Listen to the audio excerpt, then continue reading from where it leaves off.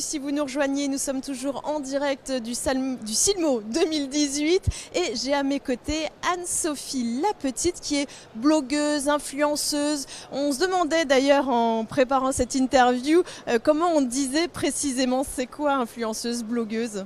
Ben, influenceuse ou blogueuse, c'est un terme générique pour euh, toutes, euh, ou tous les, toutes les personnes qui créent du contenu, que ce soit sur Instagram, Facebook, euh, YouTube, un blog, etc.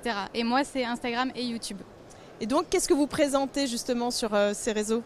Alors, à la base, je présentais plus de la mode et de la beauté, et puis je me suis rapidement rendu compte que ce qui plaisait aux gens, c'était mon domaine d'expertise, donc à, à savoir euh, l'optique. C'est ça qui plaît le plus. Vous êtes opticienne. Voilà, c'est ça. De base, je suis euh, opticienne de formation. J'ai fait l'ISO à Lyon, en- j'ai fini en 2011. ISO qui fête ses 30 ans cette année. Et vous savez combien de temps que vous êtes opticienne? Et ben, du coup, ça fait 7 ans.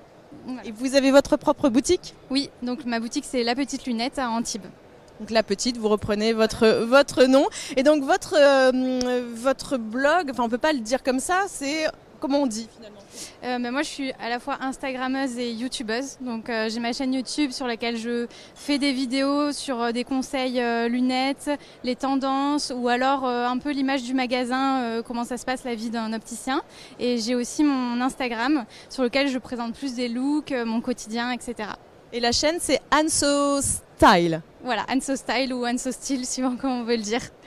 Donc moi, je vais avoir une petite mission, hein, si vous l'acceptez évidemment pour cette édition euh, 2018.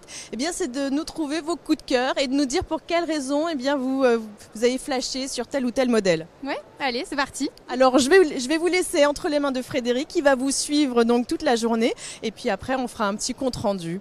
Ça marche.